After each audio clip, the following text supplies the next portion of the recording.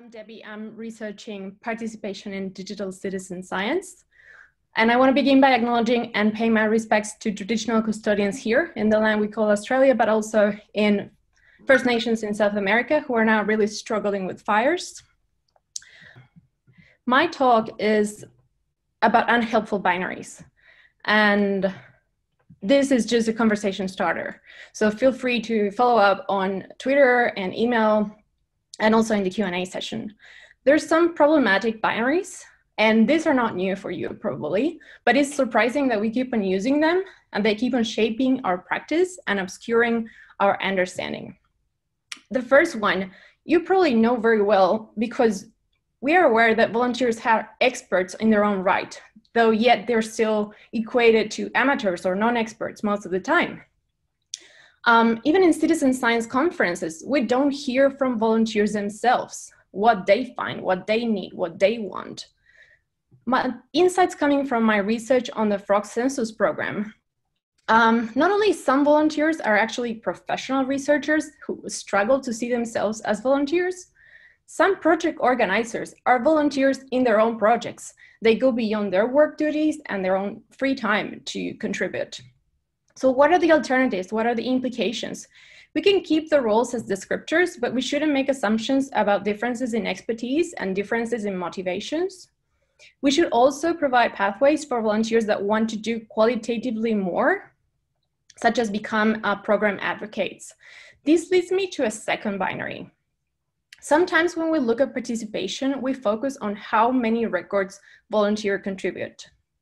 However, um, when I ask what is an ideal participant, the answers pointed to qualitative differences. It's not about how many records they submit. It's about monitoring sites where information is missing. It's about monitoring regularly or being able to identify invasive and endangered species. Again, alternatives. I believe it's important that programs define and communicate different ways that participants can meaningfully help. The next binary is about sociality. Citizen science apps and platforms treat participants as individual data collectors, but are they individual? Sometimes data collection is done in pairs or groups. Other times participants choose or need to go in solitude. But even if they do choose that, social interactions are important to begin monitoring the first place and then to continue monitoring because sharing findings are um, a, a big incentive for them, for them to continue monitoring. So first of all, apps and platforms could allow for data points to be created collectively, but also programs uh, should identify how social interaction play key role and then reinforce them, even if data collection continues to be seen as an individual task.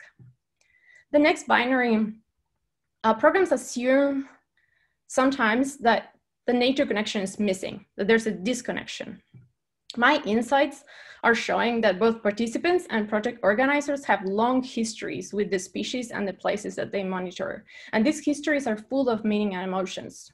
So the least we could do is reframe the objective and perhaps consider how we can enhance the nature connection and transform it in order to acknowledge the history of how participants relate to nature. Finally, um, this is what, yes, I, I, will do it.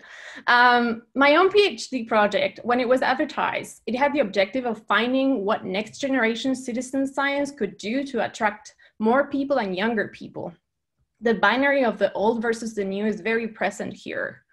But my insights, oh, you know, digitalization has been going on for a long time. We've had emails for 20 years, we've had smartphone for 10 years, and technology keeps on changing a technological upgrade, such um, you know, launching a new app, can be positive for the project organizers, but it might be distressful for volunteers.